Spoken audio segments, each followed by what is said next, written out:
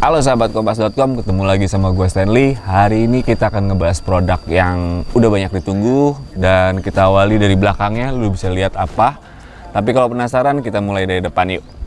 Nah, ini dia produk yang akan kita bahas, Suzuki Jimny 5 Door. Jadi ini merupakan varian dari 3 Doors yang sudah lebih dulu meluncur di Indonesia beberapa tahun lalu dan akhirnya Suzuki dengan cepat meluncurkan versi 5 pintunya.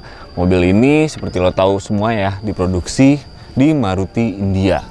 Apa aja sih istimewanya dari mobil ini?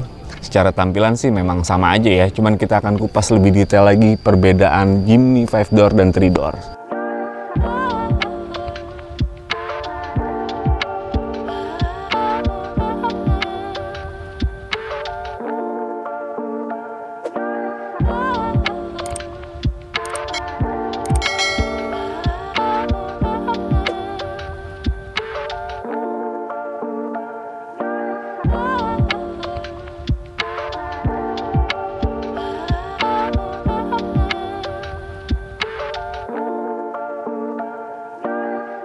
Nah, kita nggak usah panjang lebar, kita bahas saja perbedaannya antara Jimny 5 door dan 3 door. Pertama, sudah pasti dari dimensinya ya. Karena dia mengusung 5 pintu dan punya long base, artinya panjangnya pun bertambah. Panjangnya itu sekitar 315 nambahnya, milimeter pastinya. Sedangkan wheelbase-nya pun ikut nambah pastinya menjadi 340 mm. Perbedaan signifikan sebenarnya karena dia 5 door, ruang bagasinya lebih besar guys, yaitu sampai 211 kalau nggak salah. 211 liter. Jadi daya tampung saat lo akan berpergian, touring atau adventure menggunakan Jimny 5 door bisa memuat barang lebih banyak. Sayangnya, dengan tambahan dia menjadi long base ini memang nggak diberikan kursi pada baris ketiga. Jadi dia tetap mengusung konsep dua baris saja. Artinya penumpangnya tetap sama, yaitu 5. Tapi kapasitas barangnya lebih besar dan aksesnya pun menjadi lebih mudah untuk keluar masuk ya. Nah, buat lebih detailnya, panjangnya Jimny 5 door ini sekarang 3965 mm, sedangkan lebar itu nyaris 1,7 mm. Untuk tinggi sampai 1720 mm dan jarak poros rodanya itu 2590 mm. Nah, urusan ground clearance dia masih mengusung 210 mm, artinya sama dengan versi 3 doors kemarin. Dari sisi engine pun masih sama, dia masih mengusung uh, mesin K15B berkapasitas 1500 cc yang sama digunakan pada Jimny 3 Doors ataupun R3 sebenarnya. Tersedia dua pilihan transmisi yaitu AT konvensional dan manual 5 percepatan. Untuk harganya nih guys, ini yang paling menarik sih. Ini nggak disangka-sangka banget. Ternyata Suzuki memberikan harga fantastis guys. Untuk varian 5 door Jimny ini, harganya itu nggak lebih dari 500 juta, bahkan di bawahnya. Jadi total Suzuki Indonesia akan meluncurkan 4 tipe Suzuki Jimny 5 door. Pertama dari varian AT-nya yang 5 pintu biasa itu 475 juta 600 dan untuk yang 5 door AT dual tone 478 600 dan varian terbawahnya yaitu 5 door MT 462 juta. Tapi bagi yang ingin tampil beda, Suzuki juga menyediakan MT dual tone. Harganya selisih tipis banget, yaitu 465 juta. Ini harga on the road Jakarta untuk tahun 2024 dan ini menjadi pilihan menarik ya buat orang-orang yang suka adventure dan pastinya para pecinta Jimny di Indonesia.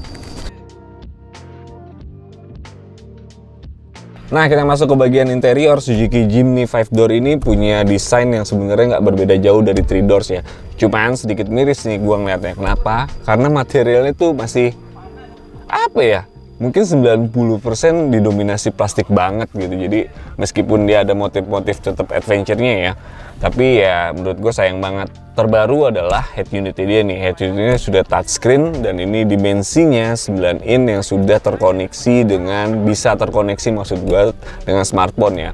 Dan untuk semuanya lo bisa lihat ini sebenarnya sama percis dengan yang uh, three doors. Begitu juga untuk desain dari uh, kemudinya ya ini kalau lo pengguna R3 atau pengguna XL7 sebenarnya nggak akan canggung karena memang desainnya sama serupa. Begitu juga untuk tombol-tombol fungsi yang ada di sini. Nah mengusung tema SUV dan dia juga uh, jadi ikoniknya Suzuki ya. Jadi sisi dari adventure-nya kuat banget dan ditampilkan juga dengan adanya tiga mode penggerak yaitu 2H yang cocok untuk normal atau penggunaan harian lalu untuk 4H di jalan off-road dan satu lagi 4L ini pengguna di jalan berbatuan yang kasar atau medan-medan yang lebih berat dari biasanya. Jadi pengguna tinggal menyesuaikan aja saat dia berada um, melewati rute mana. Ini menjadi salah satu uh, apa ya? Menjadi salah satu kelebihan Jimny selain dari desainnya yang memang dari tahun ke tahun itu uh, ikonik banget dan ini menjadi bisa gue bilang jadi masterpiece Suzuki sih. Nah, ini dia yang tadi gue bilang menjadi salah satu kelebihan atau fitur baru di Jimny 5 Door, yaitu hadirnya pintu samping guys. Karena yang di 3 Doors itu tidak ada pintu ya. Jadi lu saat mau masuk ke baris kedua menjadi penumpang harus melalui akses di baris pertama, pintu baris pertama. Lu harus ngipet jok dulu baru bisa masuk nih. Nah, dengan adanya pintu ini, jadi otomatis penumpang pun lebih mudah. Nah, lu bisa lihat nih, ruangnya juga lebih nyaman, ruang kaki legroomnya aman dan headroomnya ya sosok ya segini karena dia memang uh, dari segi tinggi nggak bertambah tapi panjangnya yang lebih bertambah. Jadi overall buat gue ini jauh lebih nyaman sih. Plus juga lo lihat sendiri nanti di belakang itu ruang bagasinya juga lebih lapang karena nambah banget jadi bisa bawa barang bawaan lebih banyak Nah, kayak tadi gue bilang, ruang bagasinya dia pun juga bertambah. Tadi kalau nggak salah itu 211 liter ya kemampuan dia untuk menampung barang bawaan. Jadi otomatis lebih banyak dari versi sebelumnya. Kalau lu butuh ruang lebih lapang lagi, lu tinggal turunin aja bangku di baris kedua. Nah, ini mempunyai ruang bagasi yang jauh lebih lapang. Tapi sayangnya memang untuk baris kedua ketika dilipat tidak bisa menjadi datar ya. Jadi masih ada celah yang sedikit mengganjal. Cuman overall ini sih oke. Okay. Nggak jadi terlalu apa handicap banget untuk membawa barang banyak.